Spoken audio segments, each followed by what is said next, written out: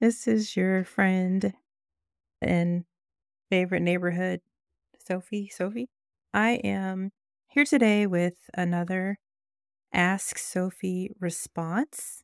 I've received a really deep and profound question from a friend of mine on Facebook named Jamie. And I wanted to, as usual, give this a lot of thought and give it a lot of research. And I have done so. And I'm rushing this out. I thought we'd have a little late night conversation about it because we are one day away from election day in the biggest, most consequential election of, I think, any of our lives. And so I wanted to go ahead and answer his question in the vein of reproductive health because it's such a pivotal issue in this election. So let's just jump right in. This is not uh, a lecture in the sense of I'm trying to tell you what to do or tell you what's right or wrong. Um, I'm genuinely wanting to hopefully offer a safe space of understanding. So, with that being said, the question that I was asked was Do you really think it's okay to allow abortions in all nine months of pregnancy? And yeah, the short answer is yes. And I will, of course, qualify and explain and detail why I feel that it's perfectly fine. But just before we jump into those explanations and answers, let's have a little bit of housekeeping. So, before we even jump in, I know this topic's going to elicit comments that are more negative, but again, we're this is not the space for that. So, if you see someone who obviously has not watched this video in part or in whole, and you're seeing some vitriolic language or just sumptive language, please reply to that person's comment with Mamala. And if you even want to go a step further and find the timestamp for where they might have actually received the answer to their question or comment, that'd be amazing if you could put Mamala and a timestamp so that person can hopefully just be prompted to actually watch a video before they make a comment on it. This will probably be pretty lengthy. So, the way that I'm going to break it up, uh, just so you know, is we're going to talk about your understanding of what abortion is and how it came to be and how people's reproductive rights came under attack.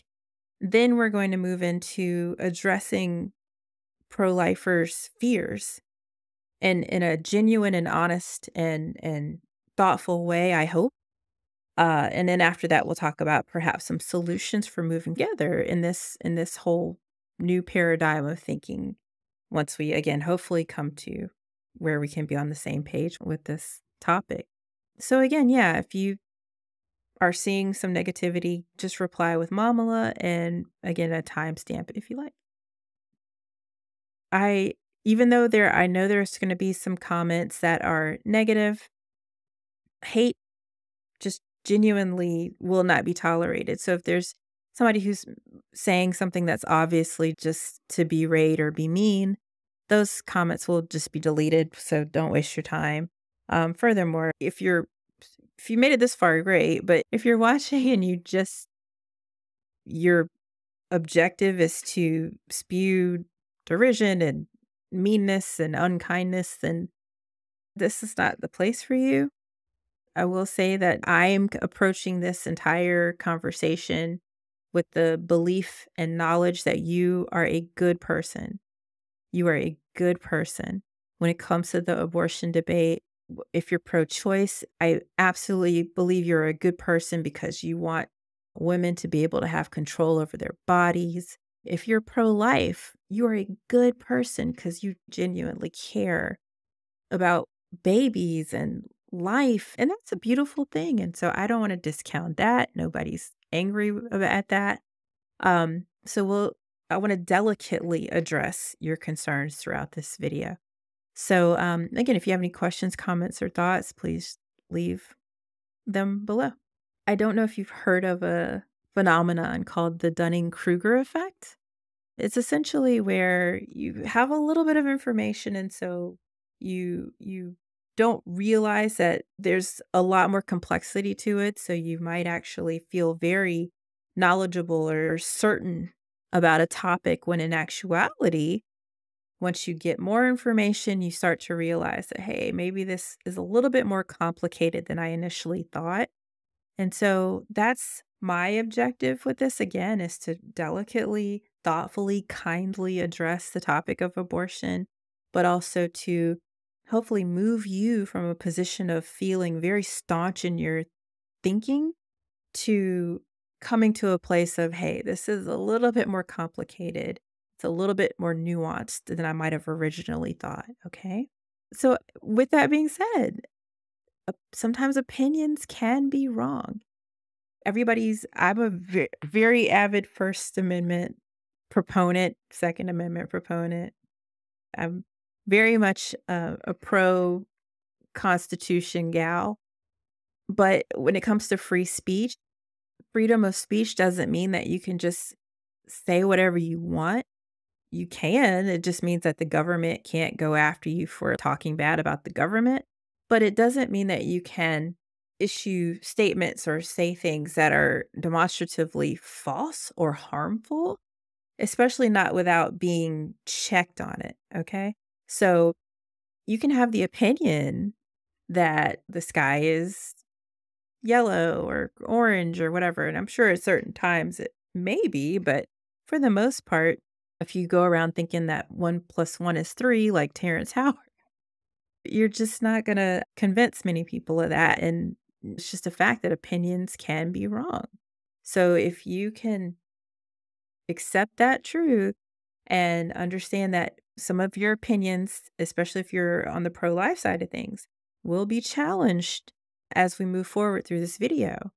Just try to sit in that place of discomfort and knowing that it's okay. We're going to come to a place of hopefully, again, calmness and acceptance with what we learn as we start talking about uh, the topic at hand.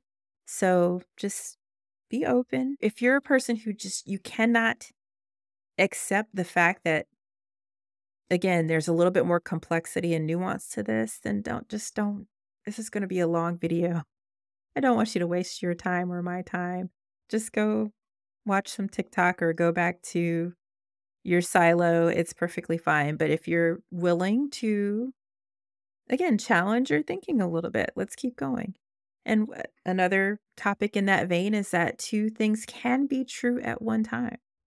And we'll talk about this as we move forward in instances where this is happening, where somebody can be pro choice and anti abortion. it's possible. I'm that way. I definitely believe women should have the right to choose, but I wish nobody had to have an abortion. And I'd love for there to be systems and laws and practices in place that facilitate sex education and contraception so that nobody ever has to have an abortion. So it's something to try to keep in mind that even people who might have an opposing thought from you, they might be a little closer to your thinking than you might assume. So, again, two things can be true at one time, and we'll talk about some instances where that occurs. Now, if your whole life, your whole identity is surrounded or caught up in the fact that pro life is just your that's your thing. Again, you probably don't want to sit here and listen to me because I'm going to be challenging those those beliefs and those opinions. And so if it's something where it's going to rock you to the core and challenge who you are as a person, again, just you might want to sit this one out. I'll show you a couple of examples of people who I don't see ever watching this or benefiting from this. Um, all right. So I saw this girl. I was really trying to look at some of her reposts and favorites. Again, just to understand what her thinking was, because she's very pro life, very Christian, and, you know, very anti trans, anti LGBT Trumper kind of person. So I, you know, I do that sometimes. I just try to understand the other side of my thinking sometimes. And same with this person. As you can see, every single post is pro life and abortion is bad. And so if, if this is you, you know, I get it if you want to just go ahead and turn this off because we're not going to, we're probably not going to make much headway with each other here. But if you're somebody who can actually, again, disassociate the pro life stance as an identity, then I think we can, again, start to try to come to some consensus. I also want to talk today about why you might hold those really deep seated beliefs and who may be benefiting from those. You might be a little surprised to learn some of these things. So, again, if you're not ready to have your world shaken up a little bit here, then I'll see you later. Thanks for joining in. But if you're ready to dive into this whole crazy world of abortion and pro life and pro choice and reproductive rights, then come along with me. so, first, let's really dig into your understanding of abortion, what it is, what it isn't, just genuinely giving you a definition and then explaining some of the nuance in just the definition alone. So, abortion is simply the termination of a pregnancy by removal or expulsion of an embryo or fetus. And that sounds really succinct, but even in this tiny little definition, there's so much we can break down. So, the termination of a pregnancy, it could be something that's elective where a person who's pregnant might choose to end their pregnancy. It might be that the pregnancy itself was non viable. The actual term for miscarriage is an abortion by miscarriage. So, abortion could just genuinely mean that the pregnancy has stopped in some way. The fetus could actually have passed. It's not that an abortion always has to deal with a living fetus or living embryo. So sometimes people aren't aware of that, or they think that every instance of abortion is killing a living being, and that's just not true. So abortions can mean that you are stopping the process of conception. So abortion can technically be like a plan B, morning after pill, where you're just stopping the egg from the egg and sperm that have already connected from implanting. So that's a, a way to abort. Also, abortion doesn't necessarily mean that you have to kill your fetus. If you have waited until your baby is viable, or if you're past like the 22, 23, 24 week point, you can actually have an abortion performed that is either done by induction or by what is called hysterotomy. So it's basically like a C section. So you can have abortions that are, aren't intended to harm the fetus. So abortion, it's a very loaded word where you hear it and you immediately think, oh, you're killing a baby. But again, sometimes the baby's already gone.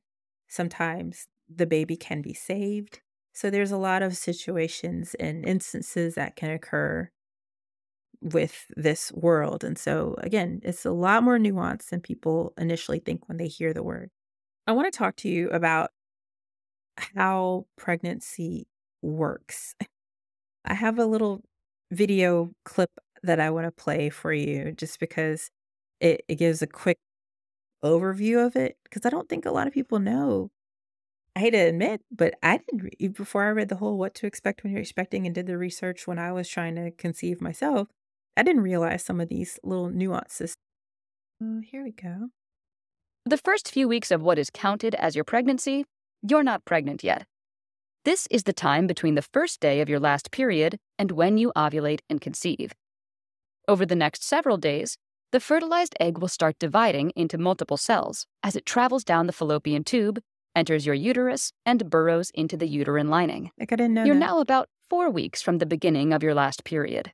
And there's also before the blastocyst burrows into your uterus. I don't know. I just thought like it's floating in your uterus, and then the umbilical cord somehow is connected to the placenta, which all just grows in the uterus. No, your egg and your sperm come together. They make the zygote, or they make the blastocyst. Excuse me. And then it actually has to like hatch this one isn't showing it. I'll add a description to a video that's way more detailed than this, but actually shows the blastocyst like hatching out of an egg casing and then burrowing into the uterine lining, which again, I had no idea. But that process of it burrowing into the uterine lining can sometimes create spotting, which can sometimes, again, be an early indicator of pregnancy, but it's very hard to know that you're pregnant at this stage. So just This uh, ball of cells, going. called a blastocyst, has begun to produce the pregnancy hormone, HCG. This hormone tells your ovaries to stop releasing eggs and can be detected by a pregnancy test. after like A mere four to 16 five days weeks, after conception, four weeks. your fetus's neural plate forms. Think of it as the foundation of your baby's brain and spinal cord. The neural plate folds onto itself to form the neural tube, which closes by about week six of pregnancy, to eventually become the brain and spinal cord, begin to develop. Organs such as the brain, sensory organs, and the digestive tract begin to take shape. Your baby has what looks like a little tail. It will recede after a few weeks and form the tailbone. At three months pregnant, the embryo already has a human appearance. The limbs, hands, feet, fingers, and toes are recognizable. and this is three months in, Their skin still is so thin that you can see the blood vessels beneath it. Though reproductive organs have begun to form, they can't yet be determined on an ultrasound or sonogram. By the end of the third month, your baby is fully formed. and they weigh is the about an ounce and are four inches long. A fetus. Since your baby's most critical development has occurred, your chance of miscarriage drops considerably after three months into the pregnancy. Second trimester, very fine wisps of hair appear on your baby's body. This is called lanugo and plays a usually critical really role in protecting the fetus from damaging substances found in amniotic fluid. Your baby's senses smell, vision, touch, taste, and hearing are developing, and they may be able to hear your voice. Your baby's eyelids are still fused shut, but they can sense light. If you shine a flashlight on your tummy, they'll move away from the beam. Their movements have gone from flutters to full on kicks and jabs against the walls of your womb. Ultrasounds done at four months pregnant may reveal your baby's sex. Here you are in your seventh month of This pregnancy. You've come a long way. During the third trimester, your fetus continues to grow in size and weight. Your baby's lungs are beginning to reach maturity, meaning your baby would have a good chance of surviving if born now. That's when they Starting in week 36, which your baby gains about lungs. half a pound and grows half an inch lungs. a week. Many babies turn head down and stay in that position until birth. So that's just a very quick overview of, yeah, very quick overview of just how pregnancy works. I furthermore would like to show you what that looks like in a woman's body. So sorry, it looks a little nudie nude, but it's just the side profile. At this point, it's not even there. It's just the egg and sperm in the first one to two weeks. So then now you have where the baby has implanted in the first three weeks, four weeks, five weeks. Sorry, I'm trying to show you six weeks. And so this is when a lot of states have abortion bans at six weeks. There's nothing like how, uh, there's no way to even know.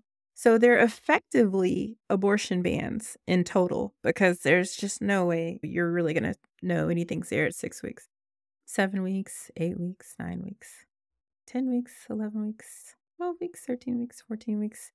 And 15 weeks is another marker where a lot of states will have a cutoff. Their abortions will be unavailable after 15 weeks.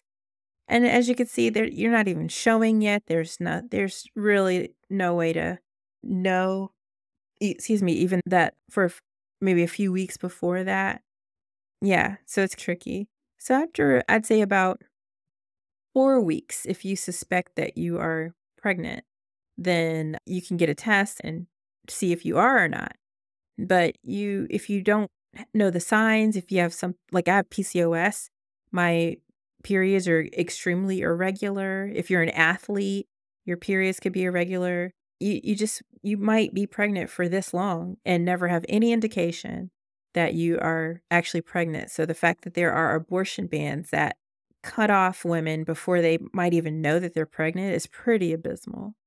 Let's just move on so you can see how it looks. I'll skip to 20 and 23. This is a very important week for me. I'll talk about that in a little bit. And let's move to, sorry, and 23 is another, 21 is another cutoff for some abortion bans.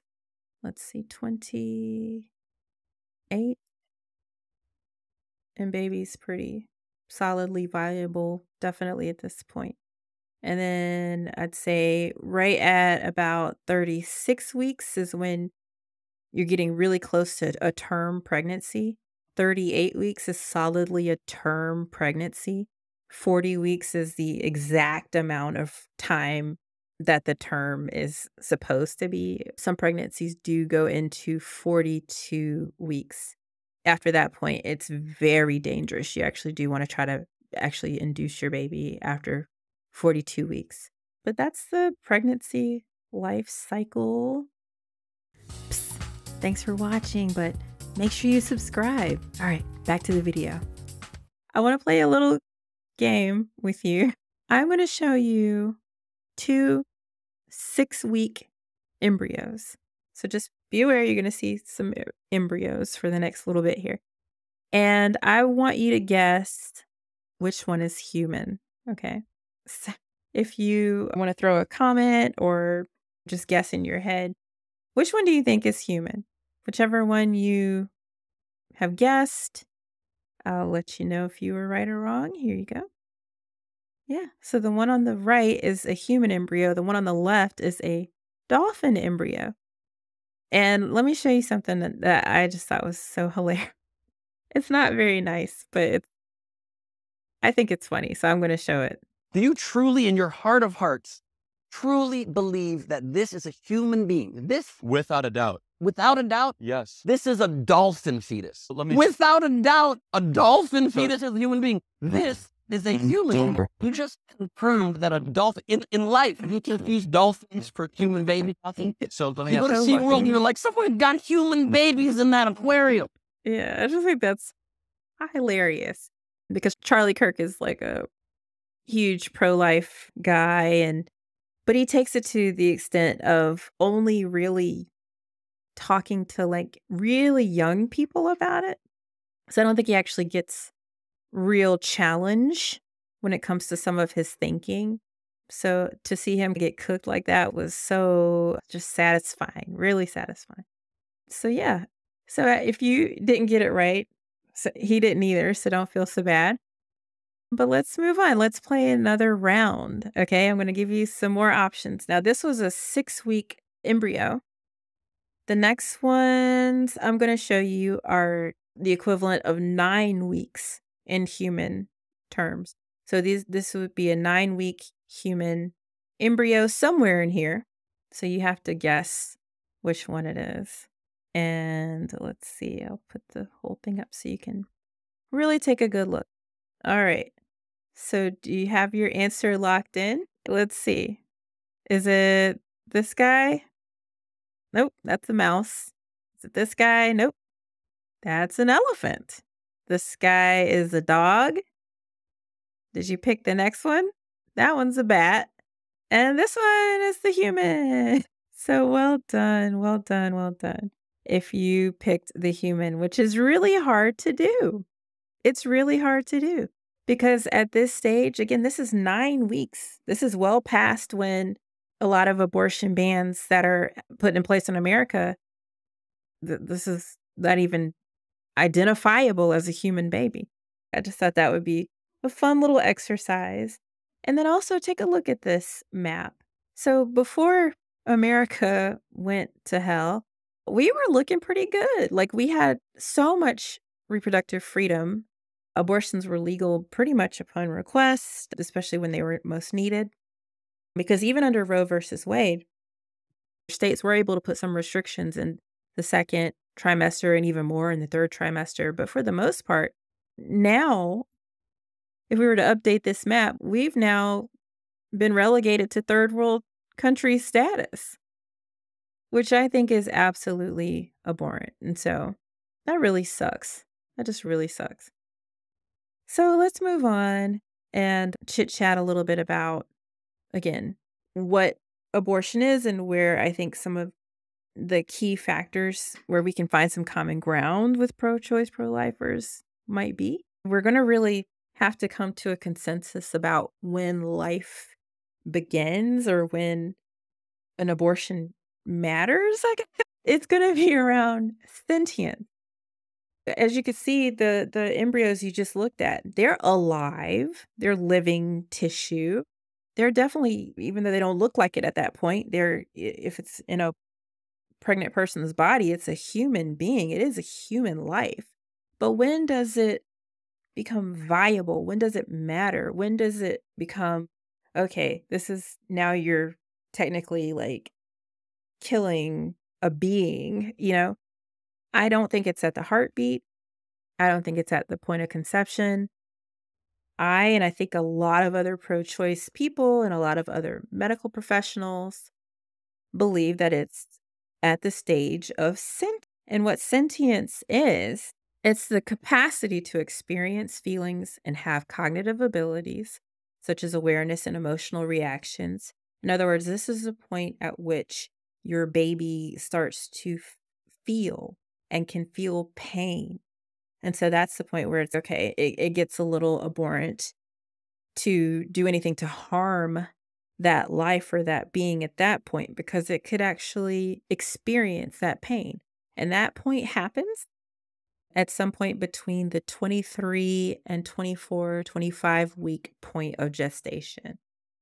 And I t- I don't know if you recall, I said at the 23 mark, just to show you one more time. So, again, six weeks, uh, that's where the embryos that you saw were at, with the dolphin and human one. And then nine weeks is where you saw the doggy and elephant one. But yeah, 23 weeks is about when, somewhere in that span, is when babies start to have the brain development and neurological development in place to actually experience pain. And so that's the point at which I actually delivered my daughter, and her name is Day. So let me tell you a little bit about my kid. and okay, so this is tricky for me because it is all such a crazy time. But I was at 23 weeks and five days gestation when I delivered my daughter. She was a breech birth, came out feet first. My I look back at my charts and my my hospital notes and everything and it said that my actual third stage delivery time was 5 minutes like so she was ready, she was cup.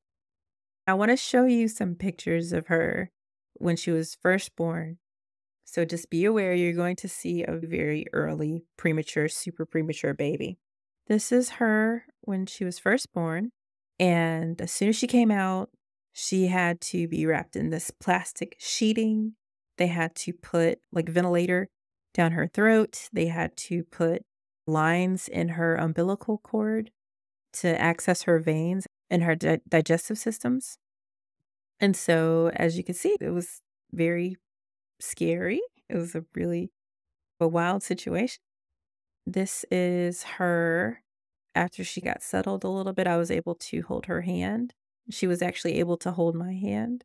And she's just tiny. She was born at 600 grams, which is like 1.2 pounds. Yeah, it's absolutely insane. And then this is a much better picture of her. And you can see the actual lanugo where she was so early. You can see her veins, her melanin hasn't even kicked in, so you could really see through her skin. It was translucent. Her tiny little diapers. It was funny now, but at the time it was so wild to see like even her little there's no fat on her, nothing. So like her butt.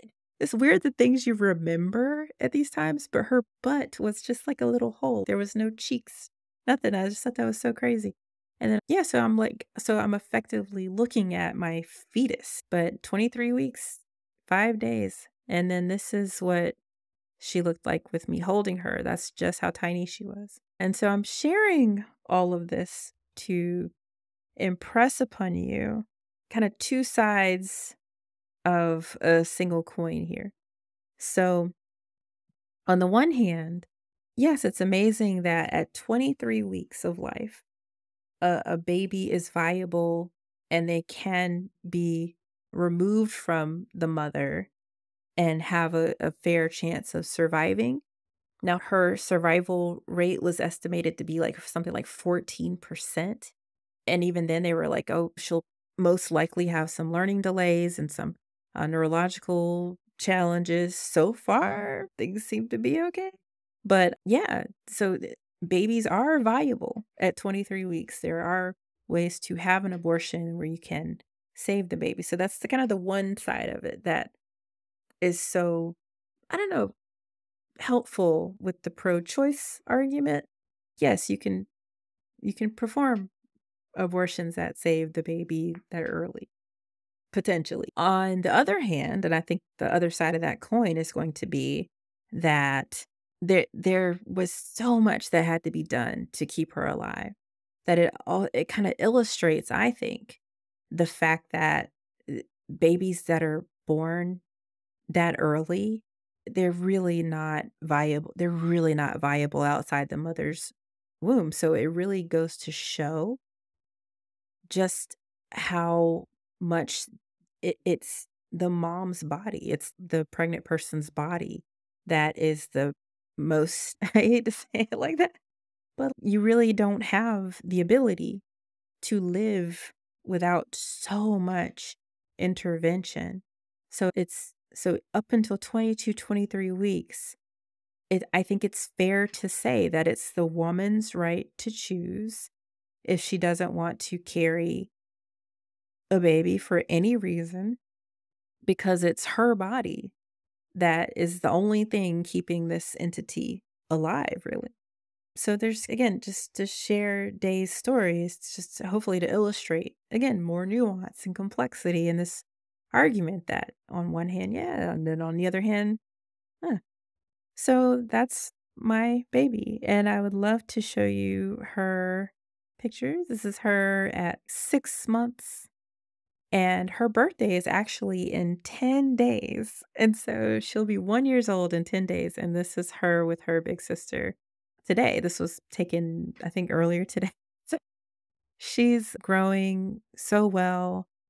She's about 18 pounds now. So from 600 grams, 1.2 pounds to seven and a half uh, kilograms and almost 18 pounds now. She is doing really well. We were in the hospital for 111 days. And then she came home on oxygen. She came home with all these medications. And now it's like we have our regular old kid. Like she's amazing. She doesn't really require any intervention. She has like a special formula she takes, and that's it. So we got extremely lucky. But just to update you on how she's doing, she's perfect. So, yeah, that's my baby. So, that's why, again, sentience and viability are very important and they really do kick in again around that 23 week mark. I did want to say that sentience is not consciousness. It's not awareness. And so I've gotten the question, oh, well, the baby's life should only really be taken into consideration after sentience. Then what about if I'm asleep? You're just going to kill me if I'm asleep? It's like, no, no, no sentience is very different. It's just the it's just the capacity to feel pain or have emotions or to experience feelings. That's it. So it's not if you can imagine like somebody being brain dead, you, the whole Terri Schiavo argument all over again, I guess, because again, we're in this land of complexity and nuance. Um, but if somebody's brain dead, there's nothing, there's no sentience, there's no capacity for feeling so there's no feeling of pain. There's no, because I think her brain was even starting to leak out of her nose at one point or something crazy. So uh, the Terri Schiavo situation. So, so when it comes to somebody being brain dead and you're just having them on life support to keep their body alive, that's not living. That's not sentience. So the protocol in the hospital if somebody's brain dead is to let them go. It's cruel to keep their body alive and just deteriorating while there's nothing going on in there. And it's not It's not being in a coma. If you're in a coma and you still have brain activity, then you can wake up at any point, or even if you don't wake up, you still have the capacity for feeling pain or feeling if you if it's even if it's in your subconscious or in your dream state. So it's not being in a coma, it's being brain dead or again not having developed the brain or neurology to even experience those feelings. Yeah, and it's not being asleep, it's not being knocked out. So just wanted to share the difference between sentience and consciousness before we move on. Like and subscribe, please. Thank you. All right, bye. Back to the video. Some of the different types of abortions that you can have. We talked a little bit about emergency contraception. That's not an abortion. Those are just emergency contraceptions, but technically, because again, we're in this land of nuance. Technically, the the life has already. It's just so you have the zygote, the blastocyst that's formed. Emergency contraception just m- prevents it from implanting. But when it comes to abortive contraceptive medications like mifepristone and things like that, those actually stop the pregnancy that's already established. You also have labor induction, where if you're far enough along, it, you can actually take medication to induce your body to expel your pregnancy. There are then surgical options, and those are called a lot of different things. First of all, you'll take medication to soften the cervix, and then they'll have a device go in to remove the actual fetal tissue. That's called a few things vacuum aspiration, D&E, which stands for dilation and evacuation, or D&C, which stands for dilation and curettage. So they I'm sure there's differences between those, but for the most part, that's when a pregnancy is vacuumed or sucked out of the uterus. Then you also have uh, surgical options that are, like we talked about before, hysterotomies, which are effectively C section. So, the thing I want to talk about with those really quickly, though, is that with hysterotomy abortions, that is being used as a circumvent to some of these abortion bans. So, women who are in their 19th, 20th, 23rd, 24th weeks of pregnancy, and they have not been able to get any other sort of exceptions or help to have a medical or medicative abortion, you're now forced to have C sections essentially when that is major abdominal surgery it's done in a way that's at the top part of your belly, of your uterus, when you're performing a C section that early. Sometimes prevents you from getting pregnant in the future, or at the very least, you will not be able to have a vaginal delivery if you have a C section that high. But you have to have it that high when you're having it early. When I just want to give you a, a, a story I read about a woman who lived in a country in South America that that has a no abortion policy, zero abortions. And she kept petitioning the government to make an exception that her life was in danger, her baby was non viable. And then they said no. And so she had to get the C section at 23 weeks. So the same age as my daughter. She had to get the C section, and the baby lived for five days basically drowning in its own unformed lungs for five fucking days. So it just, so when C sections are used to say, oh, well, at least the baby was intact. At least you didn't have to go in and do the abortions where you're having to crush and vacuum out the fetus because it's so big. At least you're you're doing everything to maybe see if the baby's viable, even though you know it's not there's all these like reasons that pro lifers try to give to say, oh, well, the C section abortion is better. And, it, and it's absolutely not. It's so unsafe. And then to force a baby to grow into the point of sentience and then force it to have to die slowly and feel that shit that is pure fucking evil.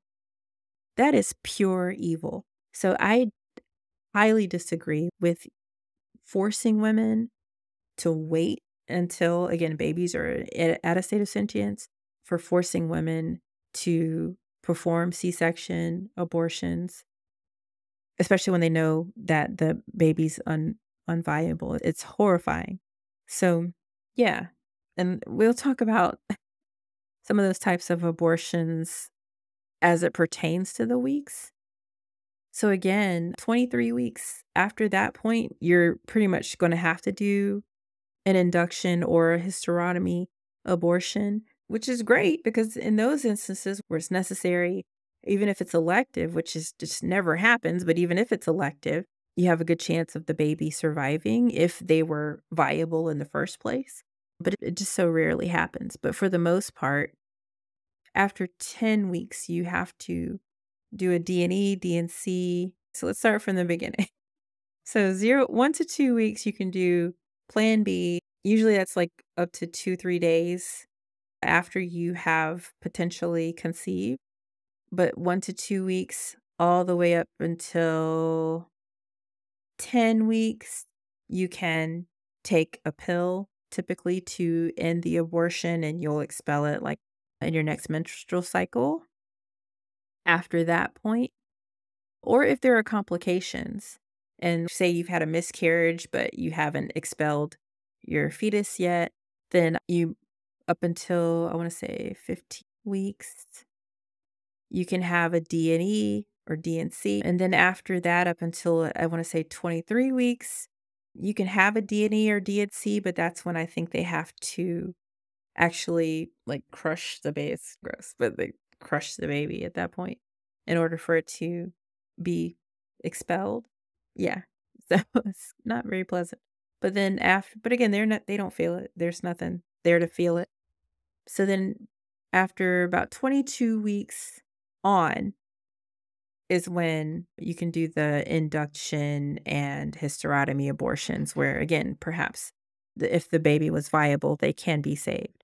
Now, we talked about pregnancy and what happens when pregnancies are perfect and they work great, but there's so many things that can happen to make it where a pregnancy doesn't go how you want. And in those instances, you still need abortions. So if your baby passes away or is non viable, you still need an abortion. It's not just people who are walking into the abortion clinic just for fun. Like, I don't understand why people think that's a thing that happens. We talked about some of the types of abortions and about when you need them or do them or perform them. And next, I want to talk about some really important statistics, um, just to give you, again, a little bit more of an alleviation of some of your concerns before we move into your fears specifically.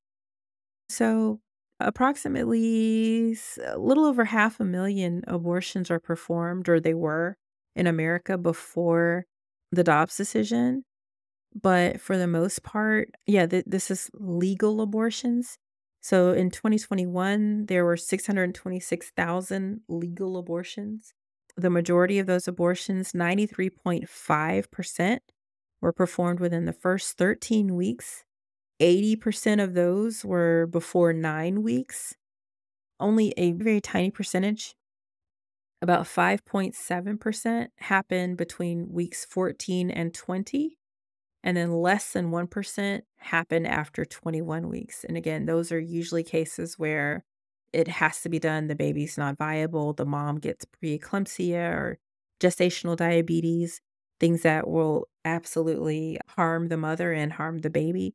So at that point, again, you can potentially do the non abortions, which is, I think, gives some women some hope, especially if you're preeclamptic or something to that effect. So the early medication abortions uh, that use the pills were used in 53% of all cases about 60% of women who seek abortions already have at least one child.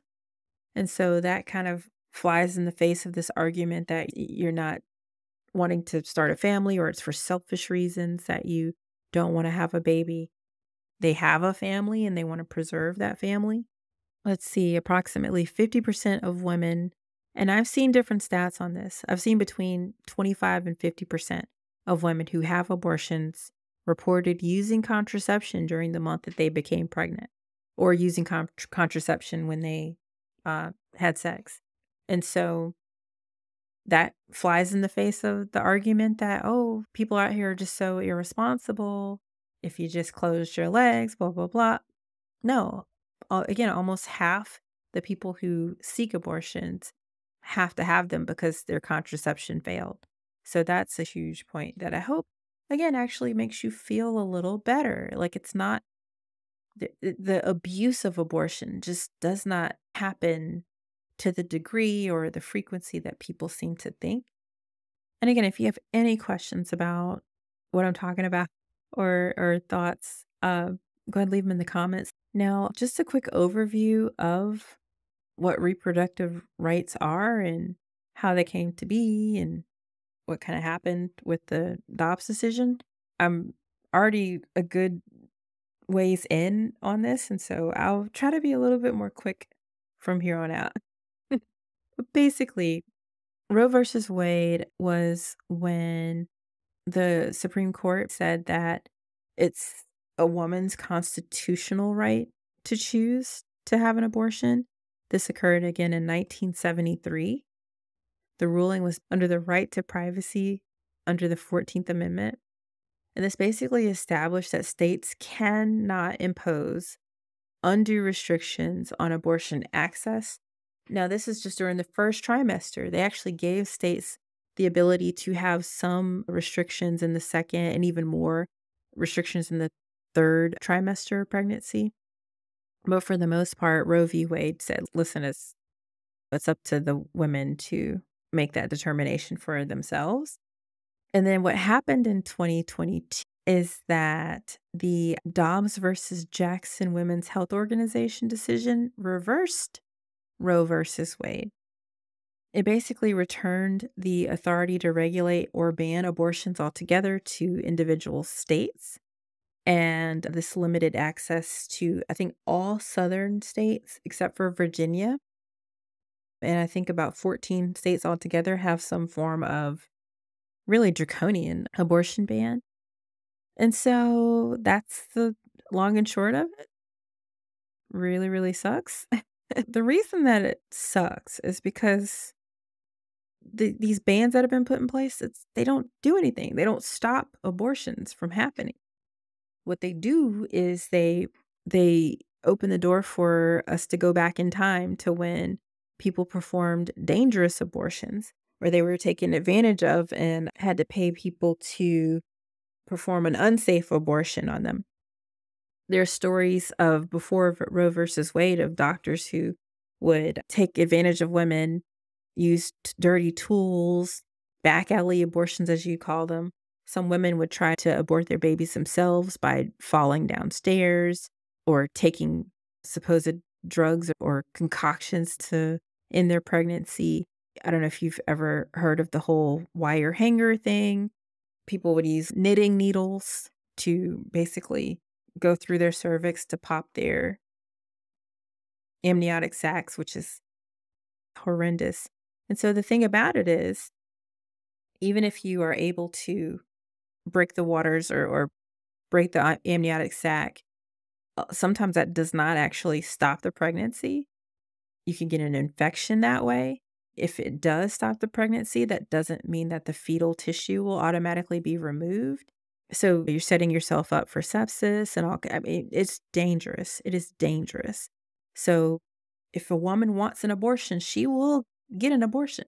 And if she's unable to get one because she's in a situation where she's now starting to suffer the effects of the baby deteriorating or she's getting sepsis, then you have situations where these women just they die. So we're in a place in time where people are dying, they're being killed.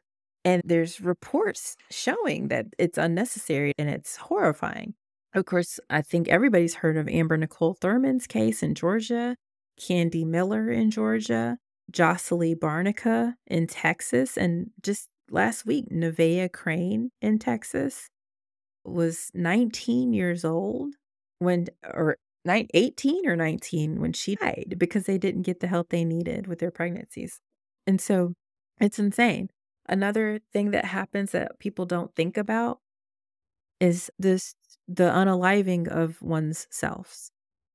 And, and I gotta watch my language on this. I'm sorry. It's already probably too late. I've said so many words. I shouldn't for the censorship gods. But yeah, when it comes to unaliving oneself, I personally have two friends that I've lost in high school who unalived themselves because they got pregnant. And that would have been me. That would have been me. If I had gotten pregnant, I would, eh, bye, uh, I'm out. The way that my mother raised me in a very Christian Presbyterian household, uh, she was the pastor's daughter. So she had this upstanding lifestyle that she had to present. And so, yeah, I would have been so ashamed. I would have, I would have been out, you know. And then again, I know people who had done that. So bans on abortion, they don't stop abortions. They don't stop women from dying. They don't stop people from unaliving themselves. So all it does is set us backwards and takes us back in time. It's absolutely horrendous. So, with that being said, we've talked about your understanding of abortion and hopefully have given you much more detail into when it's necessary, what happens, the types of abortions, when they're needed. And again, the fact that they, they don't always end in the loss of life. But let's move on. I want to talk to you now. Again, we talked about your understanding. Did you know you can join sexwithsophie.com for free? That way you can ask me questions. We have all kind of community features. Come on, it's great. sexwithsophie.com. Now, back to the video. Let's talk about your anger. I really want you to understand why you have been made to feel so, so upset whenever a woman is trying to choose what's best for her. Like, here's why you've been made to feel like that concerns you. All right. So, your anger. Now, this is Paul Weyrich, Weyrich, Paul somebody, Weyrich, we'll say. He is a co founder of the Heritage Foundation. So he'll come into play in a second. Let me just couch your anger in the fact that it's a tax exemption. The reason you're mad is because Paul Weyrich wanted to ensure that churches could continue to take advantage of the government and not pay taxes because, yeah, money. So you're mad because churches wanted more money. Abortion wasn't even considered a hot button issue until the late 1970s. And keep in mind, Roe v. Wade was enacted in 1973. So why then the late 1970s? Okay, so in 1976, there was a court case that basically said, hey, private religious schools, if you don't integrate your schools, you will not receive federal monies. And also for institutions that were trying to remain segregated, you would lose your tax exemption status. Churches did not like that. They tried to say that we want to make sure that we have our religious freedoms, but freedom to do what? Freedom to continue to segregate. And so, again, there was always a threat hey, integrate or else. And then they fucked around and found out. So in 1976, uh, Bob Jones University was hit with a loss of their tax ex- exempt status in the Runyon versus McCrary case because they would not integrate their school. And so that caused everybody to just lose their shit. including Paul Weyrich. And so they said, what are we going to do to continue to have the pull with conservatives that we've so enjoyed until the stupid Civil Rights Act passed? And now we have to do things we don't want to do, integrate our schools and our churches. Yeah, okay. So we'll try to then say, hey, this is a, an attack on our religious freedom. And that didn't really work. Nobody really got behind them. And then they tried to say, oh, well, they're going to force you to integrate your schools and everything. And, and that was happening anyway. So they couldn't really latch on to that as an issue. So then they said, oh, wow, there's this new decision that was made, Roe versus Wade, that seems to be a hot enough issue where we can claim the moral high ground. In fact, I think Paul Weyrich is who coined that term moral majority. And yeah, so that's something where we can get on our high horse about it and use that to maintain control over the political space without losing our tax exempt status. So we can still, again, have control over politicians, have control over the conservatives in particular, without risking the government ire for not following the rules of integration and of civil rights. And so that's what they did. That's what they did. In 1978, they specifically shifted to acting like abortion was so bad and that they didn't like it and that and I'm telling you this wasn't even a thing. It wasn't even a thing. And so it's just crazy to me. But yeah, so by 1978, leaders like Jerry Falwell were starting to really focus heavily on abortion. These big mega churches started to make it a thing. And so. Now, it had been contentious. It had been contentious, but not even to that big of a degree. I was listening to Lawrence O'Donnell on MSNBC, and he was talking about how his Catholic mother got a D&C it was just a D&C. It was just part of your health care. And so back in the day before Roe versus Wade, again, it wasn't even an issue really. And so the fact that the whole abortion debate, the whole pro life, pro choice debate is not even as old as my big brother. this is very new. I want to talk to you a little bit more about the whole church and the evangelical space and again, feel free to interrupt me at any time with a comment or a question. But yeah. So, no holy book is against abortion. Not one. And let me show you another video. I invited a Catholic, a Muslim, and a Jew to a bar to talk about abortion. Abortion. Let's start with a really easy question Whose religion is right? I'm just kidding. Is God opposed to abortion? There's no ban on abortion in Islam. There's no ban on abortion at any point for any reason by any method. No All right. Okay. On abortion. In, in Judaism, mm-hmm. abortion is permitted. And where the pregnant person's life is at stake, it's required because the health and well being of the pregnant person comes first. Okay. Jamie. Mm-hmm. A little more complicated. Bad news. Well, let's bear in mind that what I'm about to say is a teaching created by men who are ostensibly celibate, mm-hmm. who have no inroads or connection to the lives of women because they do not have wives, they do not have daughters. Great start. Yeah. And the Catholic Church teaches that in almost every circumstance, abortion is murder. Is it in the Bible? No. In the Christian scriptures, there is no mention of abortion. I mean, does everyone just think that these things are mentioned and we're all just like misremembering? Is it like a Berenstain Bears thing? Yeah. So, in the three major religions of our world Judaism, Islam, and Christianity there's no mention in their holy books and in, Judaism and in, in Islam, their religions don't have any restrictions on abortion.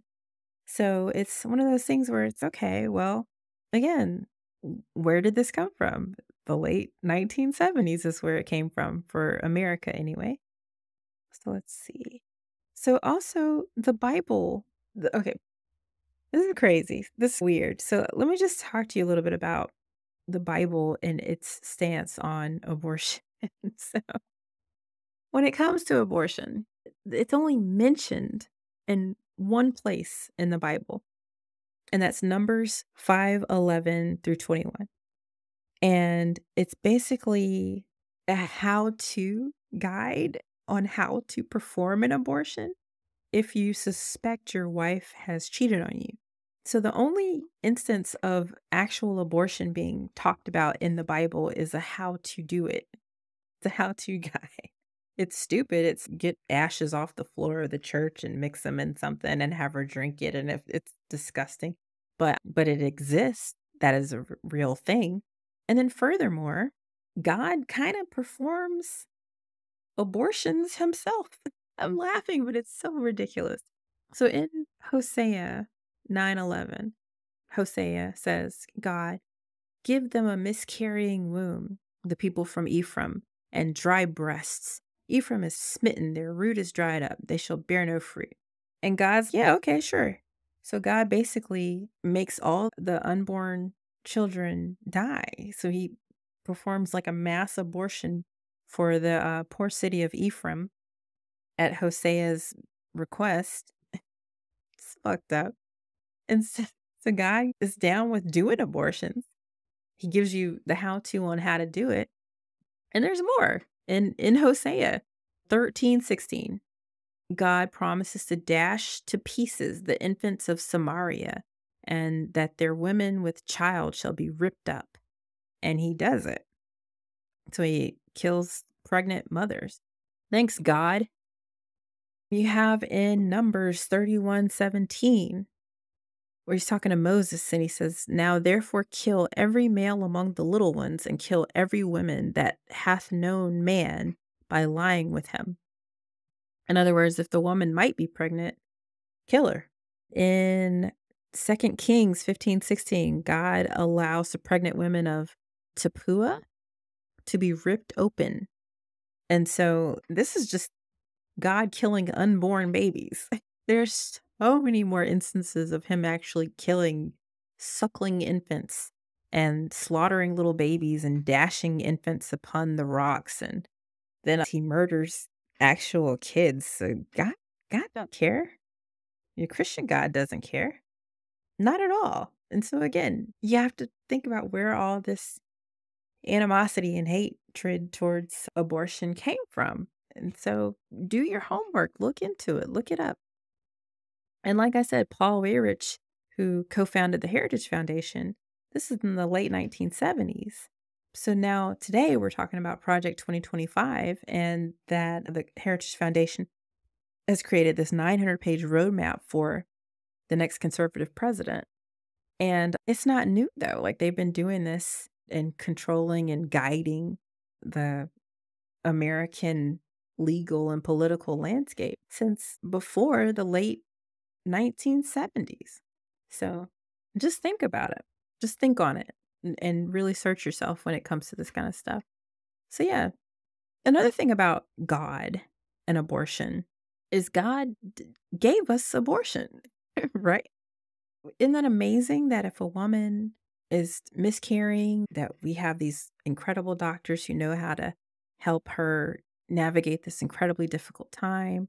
Or if a woman has children already and she now is worried about another mouth to feed when she's maybe in a financial situation that would ruin everybody by adding another child.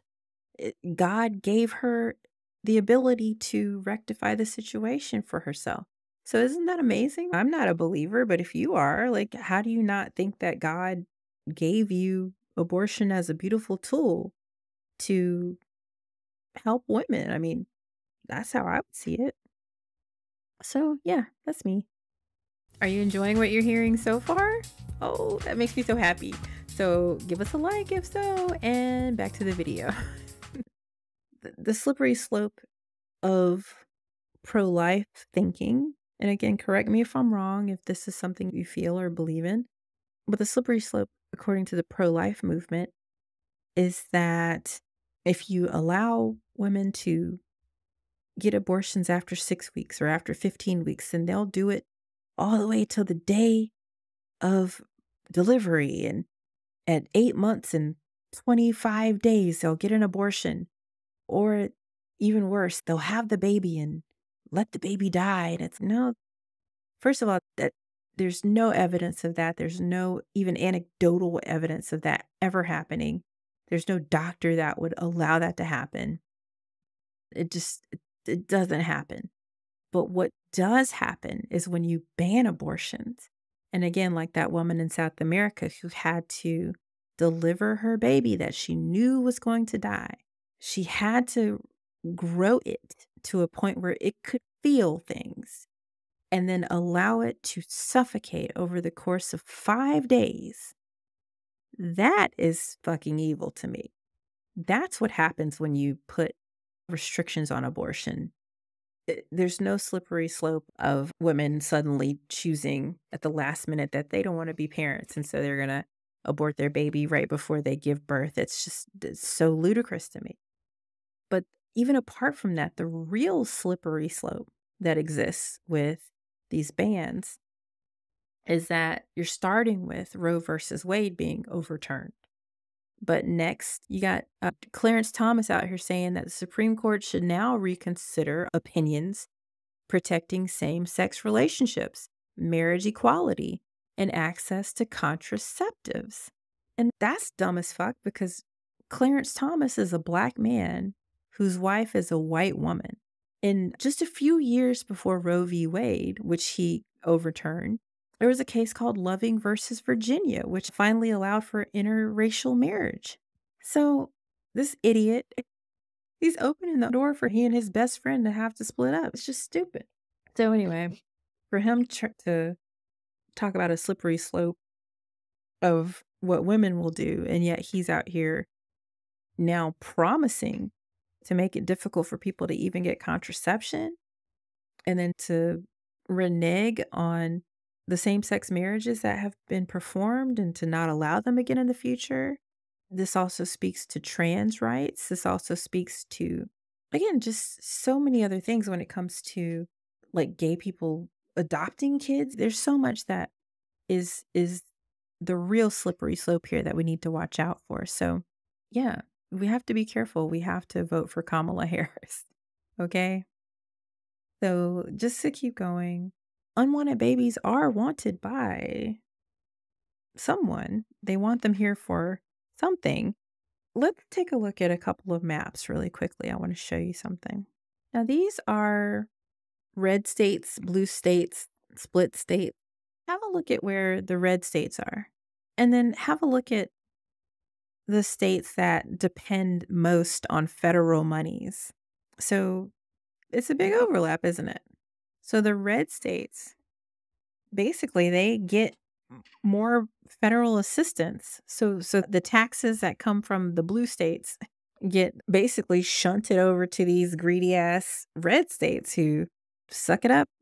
And so what happens is when you have leadership in a state that says essentially we don't care that we're last place in education because that gets us more money. That gets us more federal funding. We don't care if we're last place when it comes to our medical institutions because that gets us more money. We get more federal dollars. We don't care if we're last place when it comes to crime because we get more federal dollars. We get more more criminal justice money. We get more federal money. So there's a reason that some of these states don't care that they're producing more unwanted kids who will statistically drive up crime, drive down education, drive up medical expenditures. It's insane. And so there's, again, benefits to some of the more negative aspects of this for somebody in almost all of these instances. Furthermore, their livestock for the rich basically white babies and desirable babies are livestock. There's a book called Before We Were Yours about basically children getting kidnapped and adopted to rich or, or wealthy people for it was just a ridiculously horrible situation. But this is what's what they want. there's actually been a, a misunderstanding around this phrase of domestic stock. Amy Coney Barrett is being falsely attributed with saying that we need to eliminate Roe versus Wade so that we'll have more domestic stock or, or domestic children for people to adopt. And although she didn't say those exact words, she's still a bitch because she she definitely has said that with safe haven laws and things like that, if an if an abortion is banned at 20 weeks, she should just carry on for another 15, 16 weeks and then put the baby in a safe haven spot like in a in a fire department or a Chick-fil-A or something like that which is insane to me. So, so even though she didn't say those exact words about Roe versus Wade and the domestic stock, she still has that sentiment. And it's true. I mean, where that phrase even came from was the CDC issued a report that said that like almost a million families want to adopt, but that there's really no stock for babies that are newborn or less than a month old. And so it's there's still this prevailing sentiment that we need more children that are adoptable. And so the desirable kids, that's what they want. The white kids, essentially, let's not mince words here. That's what they want more of for those people. And then on the flip side of it, the more people that you have that are expendable, that's who you have to do your low wage, low skill jobs. That's who you have to send to the military. And so, in their minds, anyway, I don't put that kind of value placement on humans the way that it seems these people do. But they do. That's who they feel, oh, we need more of so that we can keep the machine of our government and the machine of our country going, have a lot of cogs in it that are, again, expendable, I guess, is their thinking. So it's just sad. It's just really sad. But that's where we are. Yeah. So, with, yeah, it's got me just I hate it. I hate it. So if you're somebody who, again, if you're pro life, if really look at why you get so upset about these things, this is why. It's not even for you. It's so these other people can benefit. So the churches don't have to lose their tax exempt status.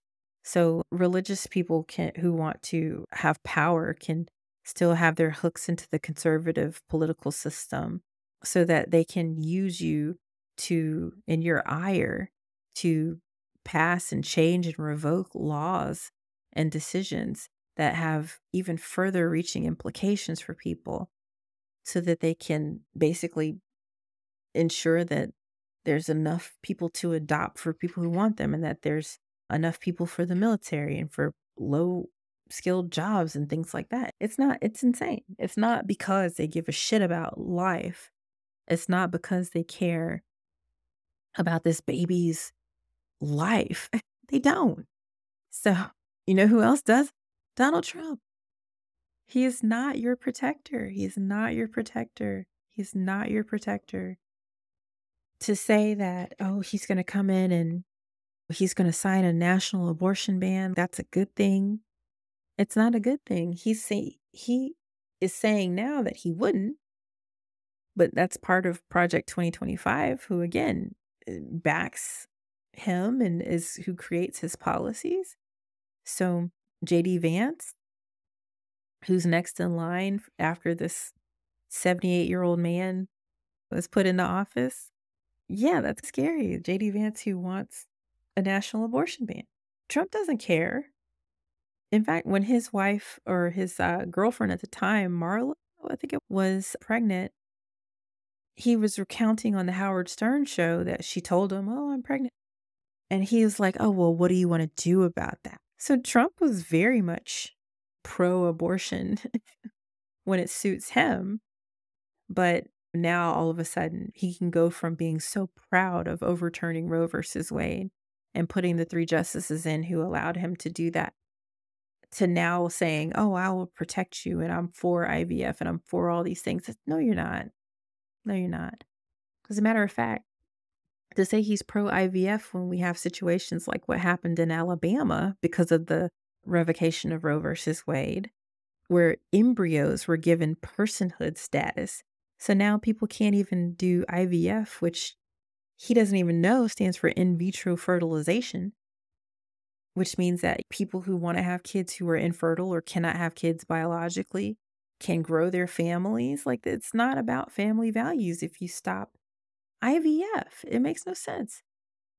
So, yeah, Donald Trump is not your protector.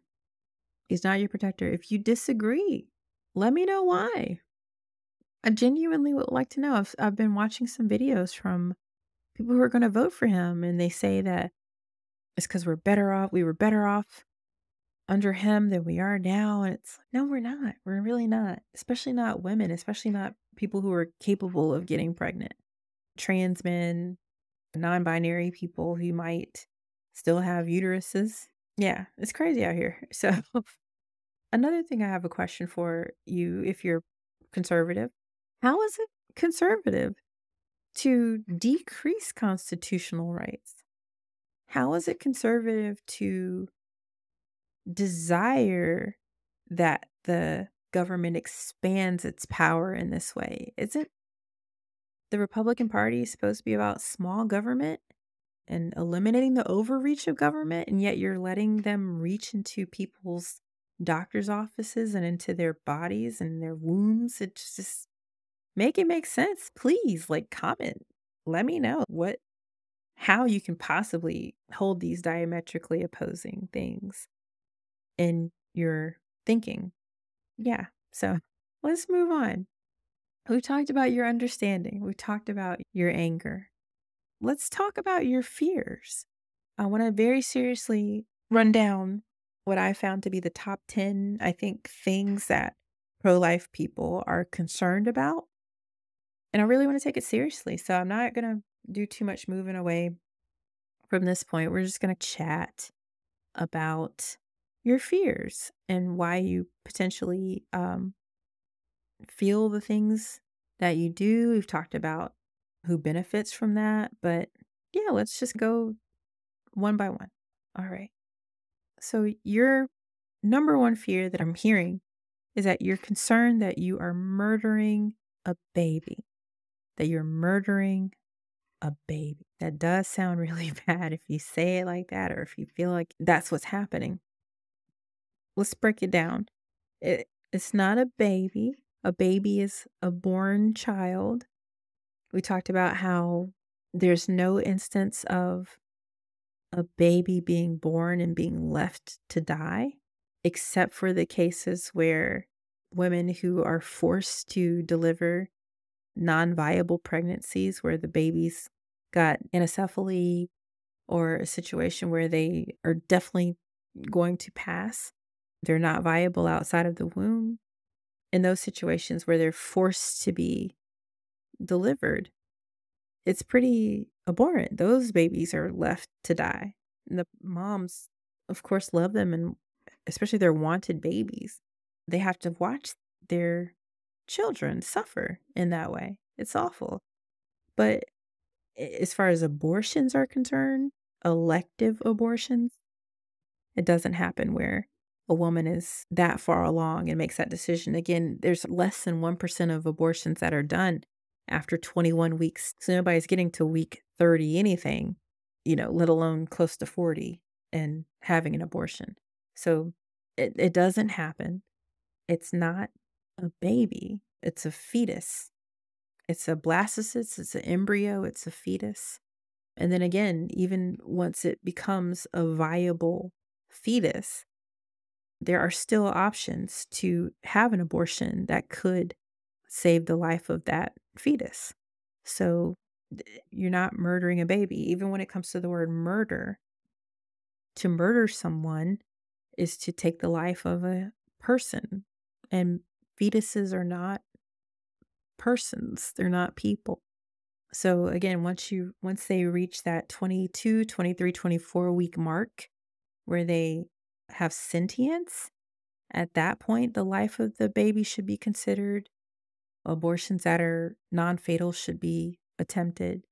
But before that point, you're not it's not murder, you're not killing a child, you're not killing a baby. So just take everything that we've talked about today, all the, the research I've cited and showed, And I hope that makes you feel a little better. It's you're it's not murder, it's not a baby.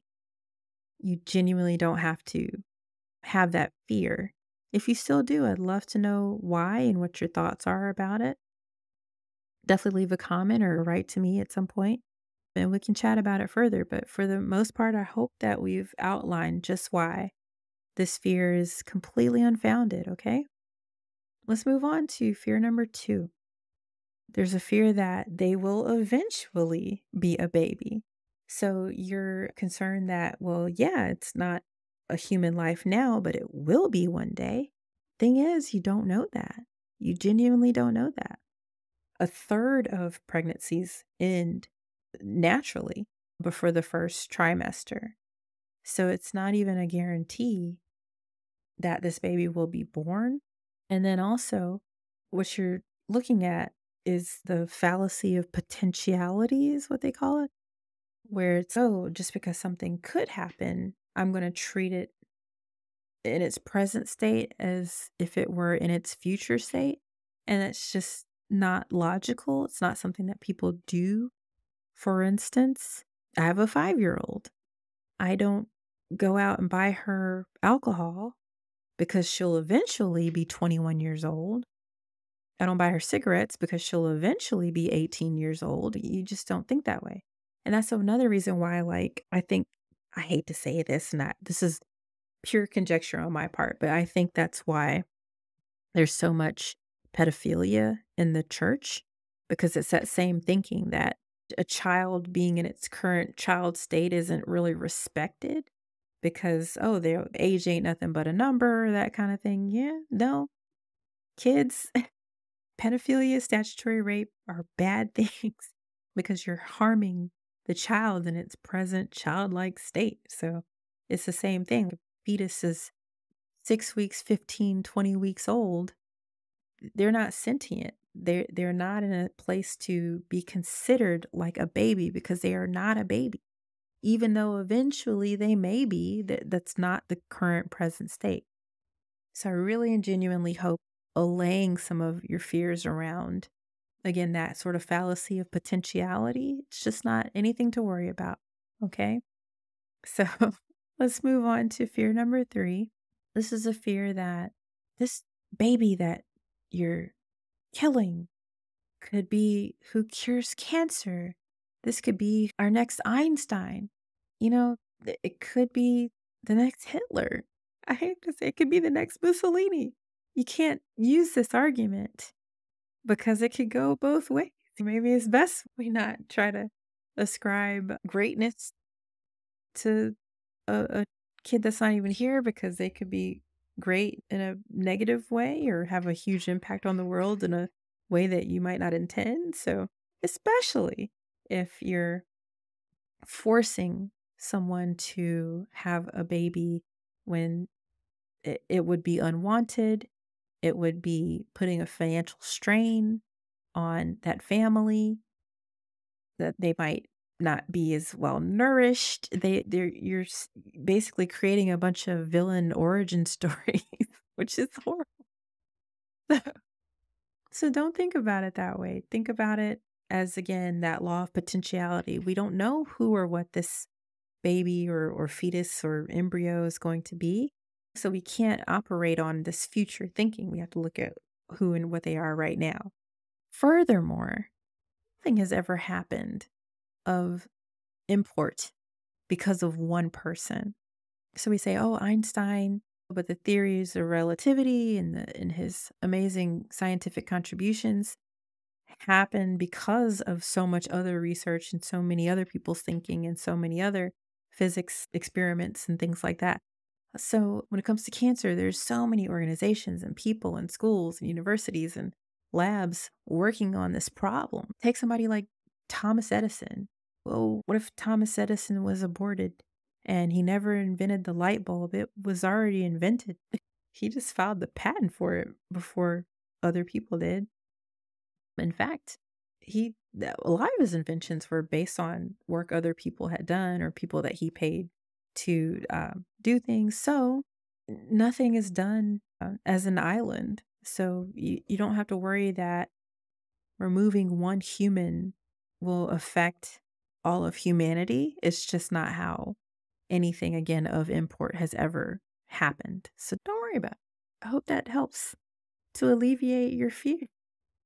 There, fear number three. So let's move on to fear number four. Oh, that baby could have been adopted. There's a fear that you're exploiting that pregnant person, that she might not have known or they might not have known their options.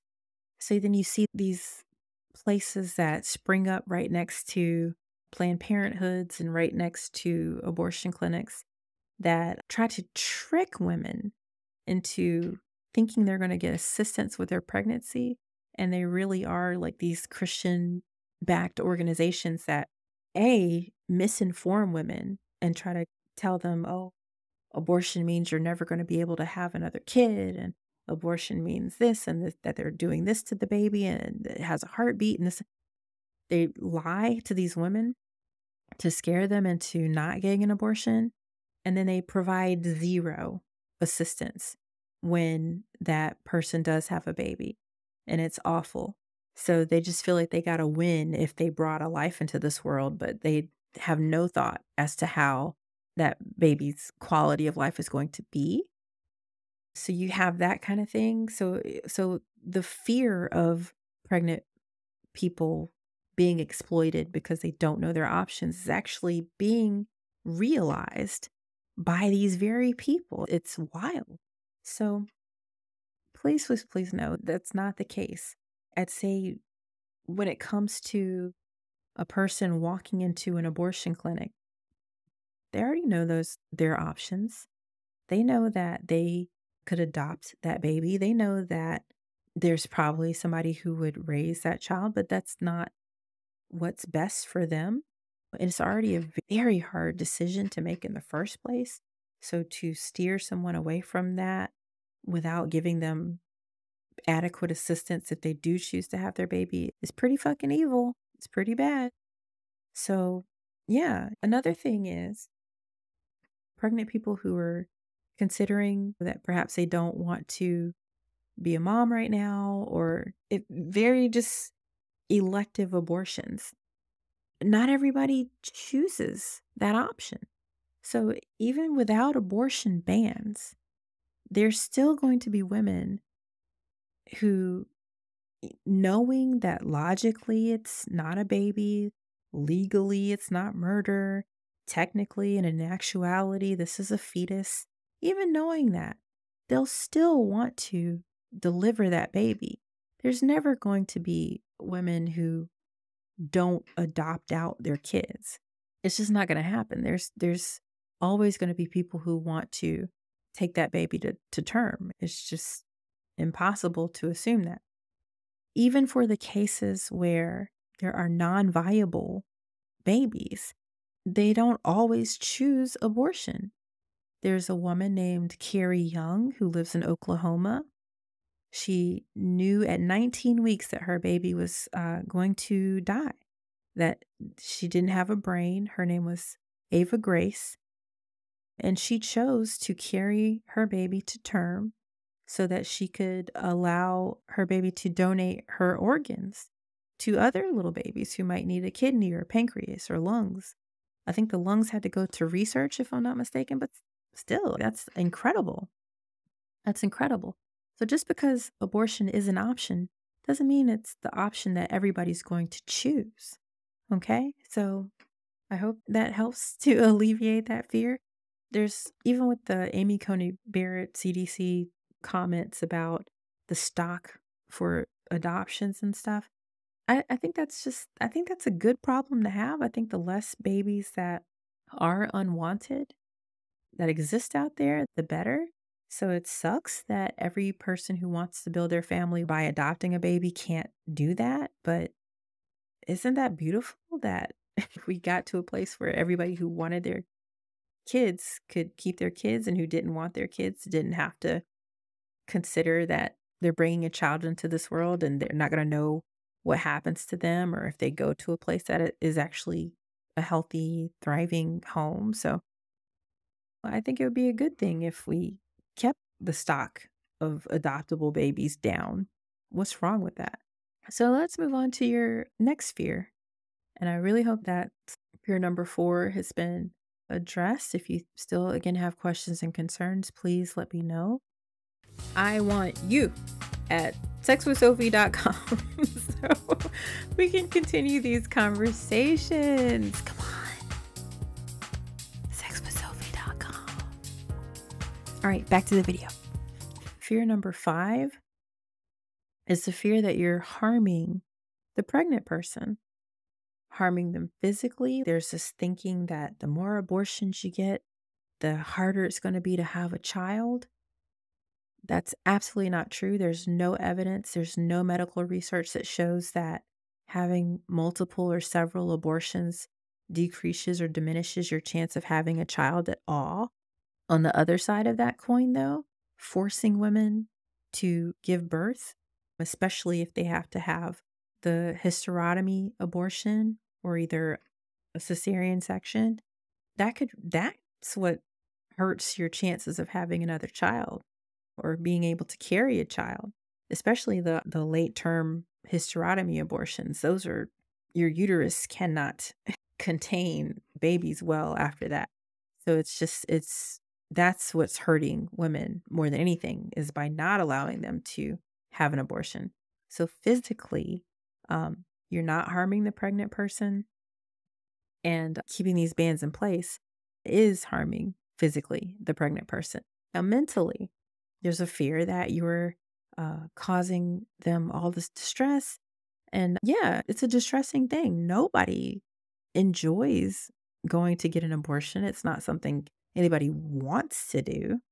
Can you imagine? There's all these jokes about, oh, we're going to have an abortion party. And hey, what you doing this weekend, girl? Let's go get an abortion. Nobody does that. Nobody on earth does that. It's a painful thing to have to do mentally research shows that 90% of women who obtain an abortion report feeling relief. Now, here's where we talked earlier about how two things can be true at one time. That same study that showed that 90% of women who obtain a near limit abortion reported feeling relief. 41% of those that same group of women did feel regret. So you can feel regretful that you had to have an abortion, but still know that almost what 90% of those women still were relieved to be able to have been able to do it. So, yeah, there's ambivalence there for sure, but it, it, uh, that's why it's necessary because it's not something people take lightly. It's not something that people just do on a whim. Another study shows that 99% of women who had abortions said that they felt they made the right choice in terminating their pregnancies up to three years later. 99%. And that tracks with that 90% of immediately after feeling relief. Mentally, it's challenging, it's difficult. People, again, up to 41% in this study can feel regretful. But most women, a great huge amount of women, 99%, feel that they made the right choice. So, why take that choice away from them, especially if it's not harming them mentally? So, again, hopefully, we're alleviating some fear, taking away some tension around your thinking with this. Let's move on to the next one. And this is actually something I'm new to hearing. This is new to me, but it makes sense that you feel like you're wasting a soul or that a spirit is not having a chance to manifest itself.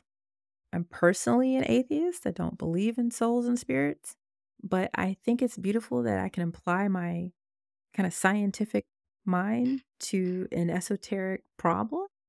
So, if energy cannot be created or destroyed, and people tend to describe a soul as being a type of energy, if you think about a, a, a baby that is in the womb and either doesn't make it and needs to be aborted, or the pregnant person feels that they need to end that pregnancy at whatever stage that soul was at, it, it's not going away.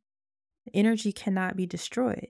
So it's just going back to the pool of souls that it came from. It just didn't get a chance to manifest its life on earth, but it's not going away because energy cannot be destroyed. So it's like how people say, oh, what happens when you die? It's the same thing that happened before you were born. Do you remember any of that? Do you have any recollection of it? No. So I think it's the same with the soul, perhaps. I hate to say it, but I feel silly talking about it just because I, again, it's like me talking about angels and Santa Claus and fairies. But I really hope that just if I could take it as a truth and try to understand that's your truth and let's take that seriously, then again, yeah, energy cannot be destroyed. It can only be changed or altered. So it, it's going right back to the pool of souls that it came from. So I'm hoping that applying some scientific thinking to this fear can help to alleviate it. But yeah, so yeah, I hope that helps a little bit. Let's move on to fear number seven. And let's talk about how some people fear that allowing pregnant people to have abortions can ruin the moral fabric of society.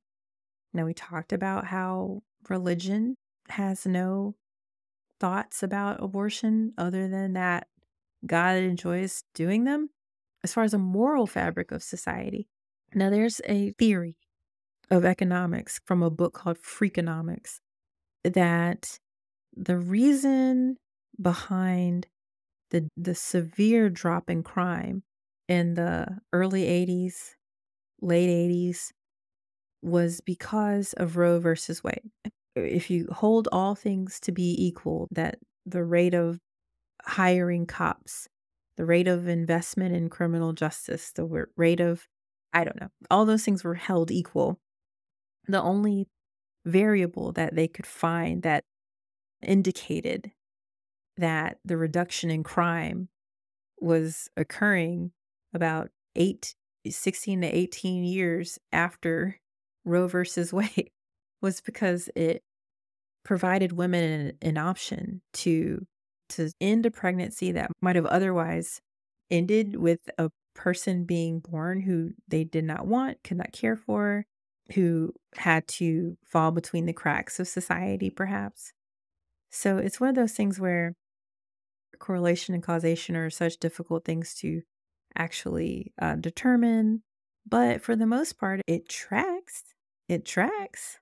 Freakonomics is the first time I think I was like, oh, wow, that there's a, an interesting thing to maybe unpack there. And so when we think about the moral fabric of society, if you have groups of children out there who are, again, unwanted, where they are on the poorer side, I saw a statistic that 42% of um, people who are seeking abortions are at or below the poverty line. It makes sense. It makes sense. If you're unable to pull yourself out of these economic disparities and you're trying to raise a child in that, you're perhaps having to work more jobs to support child that you didn't want, unfortunately. I could see how that could mentally lead that child into maybe gang culture or criminality or drug usage or things like that. So, yeah, I could see how abortion bans could actually do more to harm society and the moral fabric of society than not having them. So, that's just something to think about. It's a great book to read if you're curious to learn more. But another thing that that happens is we try to say, oh, well, all life is important and all life is valuable. No, we have to start ascribing the most value to the pregnant person. That's the living, breathing, existing person who not only it's their body that is providing the ability for this creature to grow but but if they are to terminate their pregnancy, they can have another one. So it's like you're not only by forcing a woman and potentially killing a woman who is unready to have a baby or who has complications from a wanted pregnancy, you're eliminating her and the baby. But if the just the baby is not in the picture, then the woman can still have more babies. It's almost like why take away the golden goose, if you will? You're not going to get any of those eggs of the golden eggs. So it's obviously getting way too late. It's six forty-five in the morning where I am. So let's keep going. But I hope you take my meaning. Like the moral fabric of society will be just fine. Better even if women are allowed to raise children in a financially sustainable house. Not only that, but think about this. A lot of pregnancies are electively ended due to a woman finding out that the person she was in a relationship with might have been abusive. They might have been narcissistic. They might have been cheating. They might have presented themselves to be one way, but once they thought they trapped her with the pregnancy, they totally show their true colors. With an abortion ban, you're forcing not only this woman to continue in a relationship that could potentially end her life in itself, now you're putting a child in that situation. So there's so many myriad reasons why people have abortions that we just don't know every single instance and we can't account for it in a way that would I think do anything for the moral fabric of society. I think it's more moral to allow a woman an out from a relationship that could hurt her or kill her. In fact, the biggest reason for women dying in pregnancy is murder. Crazy. It's crazy. So, the most dangerous part about being pregnant is that your partner could kill you. That's insane. Uh, so, look up these statistics. So, again, think about the moral fabric of society and how that's based on a, a solid nuclear family. We need abortion so that women who are not in a safe family can exit that situation and not introduce a baby into that situation. That seems like the better thing to do for an innocent life than to to force them into it. I do hope that offers some consolation though if that is a concern of yours. Let's move on to fear number 8. Eugenics and ethnic holocausts. So I dated this guy for 5 years before I met my husband. And he was what is known as a hotep. That's somebody who's like really militant and into Moorish sovereignty and things like that. And so you would hear in those circles all the time how abortion was so bad because it's creating a black holocaust because about 41% of all abortions are from Black women, 21% are from Hispanic women, 30% are from white women. And so they're like, oh, all these abortions.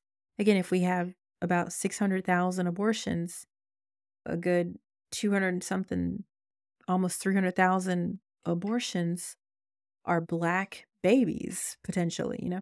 So they're like, oh, there's this whole genocide and Holocaust of black babies. And it's no, because not only are you allowing a woman to make the better choice for when she will grow her family, but over the last 24 years, there has been a population increase in the Black and Latino communities. So, since the year 2000, the Black population has grown by 30%. The white population has decreased by half a percent. When it comes to Hispanic people, since 2000, their population has grown by 80%. So abortion has nothing to do with the decline in Black lives at all. So I genuinely hope that's something that people can feel a little bit more comfortable about. Everything's fine. We're still outpacing white people if that's a concern of yours. You know, um, when it comes to eugenics, there's all these thinkings that I'm hearing about how if your baby has some kind of genetic disorder or chromosomal disorder, that isn't it eugenics to abort that fetus before you have a child who has Down syndrome or some sort of, again, condition. I understand that perspective, but I have to disagree. And I have to disagree because I've worked so closely with special needs children, including children with Down syndrome, children who are born with neurological situations and learning disabilities of all sorts. Uh, when I worked at a school district, especially, you really get to see the day to day lives of some of your most vulnerable kids. And I would never do that to a kid intentionally, never do that to a baby intentionally. When I was pregnant, I made sure to do all the genetic testing, all the chromosomal testing. Before we even got pregnant, we did all the testing to make sure that my husband and I wouldn't uh, have carriers and any kind of weird uh, combinations with our genes that could potentially harm our babies. So, eugenics, eugenics is when you cull unwanted variables in your population so that you can whittle down the what you consider the best of the best of your race. And that's not what it is when you're electing to terminate a pregnancy where the child will have some sort of debilitation or special need. Because in most of those cases, that child will not go on to have children themselves. So it's not like you're shaping the course of a particular group of people in any way, shape, or form. Yeah. So when it comes to the whole eugenics argument, it's just not true. And when it comes to just the idea that it's not good to terminate pregnancies that will end up with a child having lifelong special needs, I think it's I think it's incredibly incredibly difficult. It's a hard situation to be put in. Personally, I can only speak for myself in this, but personally, again, I could not do that to a child, but I also couldn't do it to my other child. So I have a five year old. I'm an older mom. I had my only biological child at 41 years old. So if I had a baby that needed care, I'm going to be saddling my five year old who would grow up to be the caretaker for this person after I'm gone, which is probably not long because I'm, again, I'm an older mom. So it's just all these considerations that you have to, to think about. But yeah, so it's an individual decision. But ultimately, again, like we talked about before, just because abortion is an option, it's one I would absolutely take if that were the shoes that I was in. But not everybody does that. Not everybody uh, minds raising a child with Down syndrome or with some other issue. So, in those cases, I do feel like it's horribly selfish to put a child through that. And again, to potentially put your other children through that. If there are no other children, then this poor baby who has special needs and needs you could potentially be a ward of the state if they don't have anybody to help them. So it's it's a lot of considerations, but they're not for me to make for anybody else. They're only for me to make for myself. So, yeah. Moving on. I hope that again helps you feel a little better that it's not this super crazy bad thing to to think about it and to have it in your arsenal of options. But yeah, let me know what you feel about it. And if you were presented with that situation, what you would do. Or if you have a, a special needs child or adult in your life, what that looks like and what some of the considerations you have now, how they might have differed having that person in your life. Yeah, I'm interested to know. So leave a comment or write to me at some point and let me know what you think. Well, let's move on to fear number nine. Now, this is a fear that without a ban on abortion or limitations on abortion, that you're encouraging irresponsibility. That there's all these people out here who just use abortion as birth control. Let's remember that somewhere between 25 and 50% of all abortions are from failed contraception. It's not that people are out here using abortion as birth control when most of the time they were trying to use birth control and it just didn't work for them. Also, most women do not take abortion lightly. Uh, a lot of women who have to have abortions have wanted children. These are kids that they wanted and tried for. How is it irresponsible to do everything in your power to try to have a baby, but then medical complications or situations arise where you can no longer maintain a viable pregnancy? That's not your fault. That's not being irresponsible. But for, again, for the women who don't care and they don't use contraception and who cares if I get pregnant? I'll just get an abortion. Is that who you really want to be a mom? Is that who you really want to force to have a baby? What? Like, how horrible would that be for the poor baby? So I don't understand the, the thinking there. It's not something that I think you can separate from misogyny, unfortunately. I hate to say it, but for you to say, oh, if you're you're just out here taking advantage of this system. Sometimes I think people say, oh, well, I'm paying my tax dollars to help subsidize your abortion. I, I disagree with that. It's no, you're not. Like, you're not. It's such a, it's such a tiny sliver of expenses that you can't attribute your concern about it being fiscal. So your concern is probably more that you want to punish women.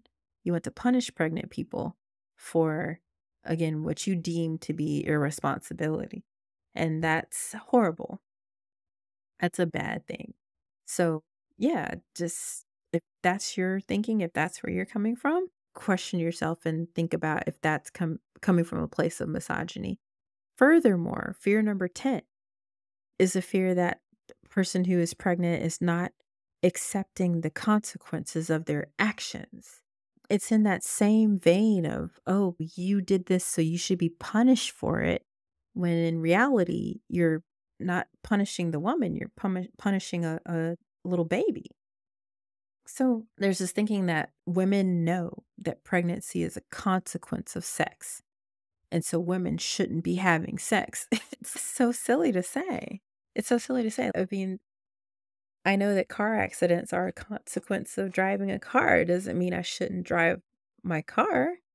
So you again, it's one of those logical fallacies that when you really think about it, it doesn't make sense. So what does make sense is that you're probably again coming from a place of misogyny or coming from a place of I hate to say it, but probably even hypocrisy, where it's just your church or an evangelical preacher or somebody trying to tell you like, oh, it's a sin for women to have pleasure or to seek pleasure, or to have sex. And it's no, that's just not true. It's just not true. It's just not true. It comes from a place of misogyny. So you really want to investigate that about yourself. Also, women are raped. Men are raped. Trans men are raped. Like it, it happens where if you have a uterus, you could have an unwanted pregnancy statutory rape. You have all these children out here who are forced to have babies. It makes no sense to me. It makes no sense to me. How is that person not accepting the consequences of their actions when they were underage and couldn't make that decision or when they were raped and they couldn't make that decision for themselves? And again, just because abortion is an option doesn't mean it's an option that everybody takes. There's plenty of women who have experienced rape who still refuse to get an abortion. They they still don't want to end a, a, life and that's their decision, but to take that decision away from them and away from the ones who are raped and don't want to carry that baby is just abysmal. It's just abysmal. We also have to remember that half of abortions occur from failed contraception. So it's not like you're not accepting the consequences of your actions when you actually try to be safe. Yeah. So this one and fear number 10, I think, go hand in hand. Also, there's only about a 5% chance that any healthy woman will get pregnant if she has sex one time. It's only like a 5% chance. And then that chance, I think it's 5 to 20% chance And then those chances decrease the more you try to have sex and have a baby. It's weird. And then your chances decrease as you get older. Your chances decrease with illness, disability, disease. Your chances decrease with syndromes like PCOS. If you're an athlete again. So it's very, it's actually really quite difficult to get pregnant. You saw the video earlier where there's so many things that have to happen perfectly. Even if the egg is fertilized just right, it, it might not leave the fallopian tube. And then you might have an ectopic preg- pregnancy, which could happen anywhere. It doesn't have to just happen in the fallopian tube. You could have a baby in your digestive system. There's this thing called fetus in fetu, I think it's called, where a baby can grow in another fucking baby. Like there was a baby who literally was one years old and she started her head started getting bigger because she had a fucking baby growing in her fucking skull. There's this shit is crazy, man. So like I'm telling you, like if you just there's so many reasons why people need to or might need to have an abortion. We just can't know them all. So so it's not that you're again not accepting the consequences of you having sex. It's that you just don't know what could happen or what's going to happen even if you do engage in sex it's not all the time that you're having sex and you again you could be SA'd you could there's all kind of things that could happen. You've hung in there this long thank you so much it's almost to the end so make sure you like this video before we get there. Thanks. All right let's get back to it. So fear number 10 is my last one i'm going to address that i can think of if you can think of any other fear around what's driving pro life people to be as entrenched in their thinking as they are, or if you are pro life and I have not addressed something that concerns you, please let me know. But I do feel like we've covered most of them or all of them that I could think of. So it's not about not accepting the consequences, it's not about being irresponsible. And again, even if it is, is that irresponsible woman who doesn't accept the consequences of her actions really who you want to force to have a child? How is that fair to that child? So let's recap a little bit. We've talked about your understanding of abortion. We talked about your anger around abortion. We've now talked about your fears when it comes to abortion. Let's talk about your hope with everything we've learned, everything we've talked about, what does the future look like? Where do we go from here now that you know more than you knew before we started? So, first of all, I hope you feel better. I genuinely do. I hope that us having this really comprehensive deep dive into abortion that you feel a little bit relieved that you being so angry is manufactured pro choice is not being pro abortion. Again, two things can be true at one time. So just because you want to give women the option doesn't mean that you are happy about it. It's not like everybody, again, wants an abortion. So, ways that we can help to prevent the need for abortion, I think, stems primarily with comprehensive sex education letting people know ways that they can be safe, exactly how pregnancy occurs, that abstinence is not the best way, the pull out method is not the best way to prevent pregnancies. I think 22% of people who try the pull out method end up pregnant. Just the ability to teach people better will help there to be less instances of a need for abortion. I want to encourage more responsibility from men I think if more men who know they don't want kids just go ahead and get a vasectomy, that'd be a real good way to ensure that there's less unwanted babies out there. Wouldn't it be amazing if every man on earth, like there's this new TV show called uh, The Curfew or something, where all these men in the UK are are like forced to be tracked and you have to be in your house by like eight o'clock at night. That's an interesting theory, but what if we said every man, once you get to be like at the age of puberty, has to freeze their sperm and then get a vasectomy. wouldn't that be wouldn't that be the absolute best way to prevent unwanted pregnancies? Just saying, just saying. Now, doesn't that sound ridiculous? Isn't that crazy to think? So why is it always the onus of the woman when yes, it's ridiculous to to think that all men would get vasectomies. But that is a solution, is it not? So yeah, don't just put the onus on women. Furthermore, it's not like, you know, every young man who gets his girlfriend pregnant in high school ditches her. So a lot of times you end up with a little boy's life being just as shaken up by a, a teenage pregnancy as a little girl's. So, in those respects, I think that we should encourage more responsibility from men and especially our young men.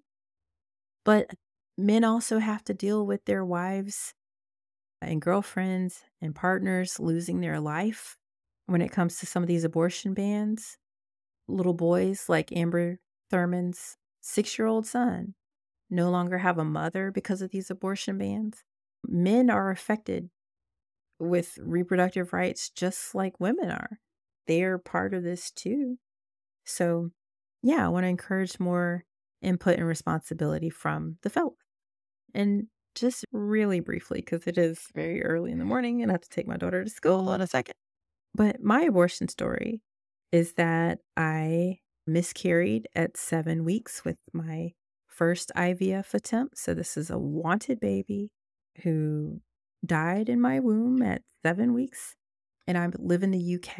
And so I was very fortunate to be able to, the next day, get a D&C. And so then, literally 30 days later, I flew to America and had a second round of IVF. And now I have my sweet baby day. So, abortion is a beautiful thing. It allowed me to quickly grieve the loss of my seven week old and then honor her by having a rainbow baby in day. And so I feel like it's it's a beautiful thing at the end of the day. It takes something where it was such a difficult and grievous time. I was so sad. And I had so much hope though, because I knew, okay, I can very quickly get my D&C and then try again. And that's what abortion allowed me to do. So, yeah, I if you have any questions or want to know more about my story, you can go to sophiepartlow.com and I have a blog and you can see what happened with all that. But for the most part, I'm always going to be an advocate because I know how it benefited me. Yeah. Now, instead of being pro life, because from this moment forward, you've gotten all the data and the information and the quelling of your fears. You've got all that now. So now what we need to do is put our energies toward things that actually help children, that actually help babies, that actually help women and families. So, first of all, you need to vote for Kamala Harris today. You need to vote for Kamala Harris she's the only person out here hoping to enshrine reproductive rights into law for everything that you have a concern about with economy and Gaza and everything else. She's also the most qualified candidate to make some positive changes in those regards. But as it pertains to reproductive health, she's the only one who's going to ensure that, again, our right to abortion is enshrined in law. So vote for Kamala Harris, but also vote for the Democratic Party down ticket. Those are the parties of social efforts that help with things like early childhood education, paid family leave, reduced childcare costs. Kamala Harris wants to have a $6,000 child tax credit. They want to focus on paternity leave. That'd be amazing. If we, again, uh, had more comprehensive sex education, if we have free school breakfast and lunch, more DEI programs, criminal justice reform, there's so many other things that we can be doing to assist black and brown kids, to assist lower income kids. The child tax credit brought 50% of children out of poverty. And then the Republican Congress, they nuked it essentially, or they didn't pass a bill to, to keep it going. So, this is where our efforts need to be going if we genuinely care about life and children and families and women. Okay. So, finally, if you still don't support abortion after everything we've talked about today, just don't get one. Just don't get one. It's as simple as that. What's sad though is let me show you article that you must read. It is imperative that you read it. It is called The Only Moral Abortion is My Abortion.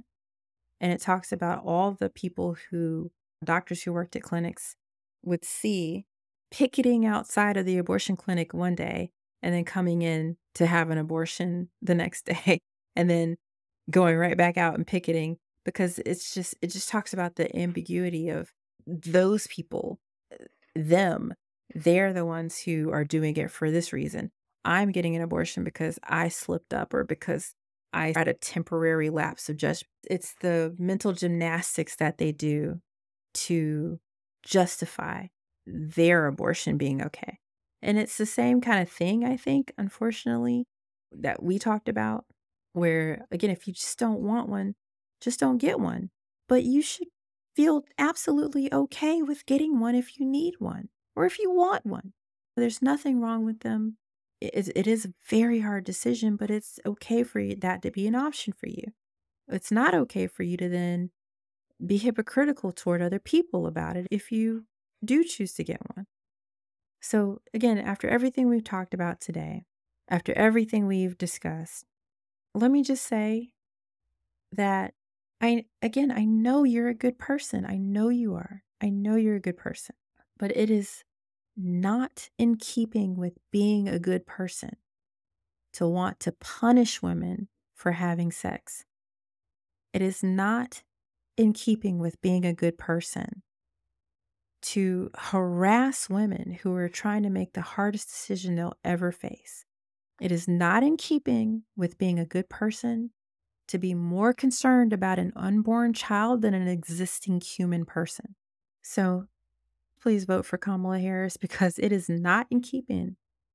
It is not in keeping with being a good person to vote for someone who will actively continue to root for policies that kill women. Okay? Are we simpatico? I hope so. And after all of this, honestly, if you still feel unmoved, if you still feel entrenched, please go to therapy, talk to someone other than a minister, seek some professional guidance into in, interrogating your misogyny. Okay? Because it's, if it's been what, there almost four hours we've been chatting here. If you are still of the mind that women should be punished, that it is wrong, that people are taking this lightly, that anybody wants to have to do this, then again, please interrogate your misogyny, okay? Otherwise, I hope that this has been helpful. I hope that you've learned a thing or two. I've had really enjoyed spending this night with you. And if you want to ask me a question, that I will do a deep dive or re- research very thoroughly, just like I've done for you today, for my friend Jamie today, go to withsophie.co or sexwithsophie.com slash ask dash Sophie. And I will very happily research your question and provide you with a video response. So that's it for me. I really am glad to have shared this information with you. But if you still have any questions or want to chat further on anything that I've talked about, go to sexwithsophie.com and create a free membership so that you can join me in my community areas, in our forum, and our focus groups to discuss this further. And again, just would like to thank you and would like to to extend my invitation to follow me or subscribe so that you can see when we go live and, and have our call in shows, which are damn near daily, for you to call in and have a chat with me directly. So, in the meantime, thanks for hanging out on this live, this incredibly long live. Oh my gosh, and good luck with the polls tomorrow, America. Please go vote. And again, please go vote for Kamala Harris. I've already voted absentee way back in October. I want to say, yeah, September. So, yeah, lock it in, get it done. Let's win for democracy. Let's win for women's rights. Thank you.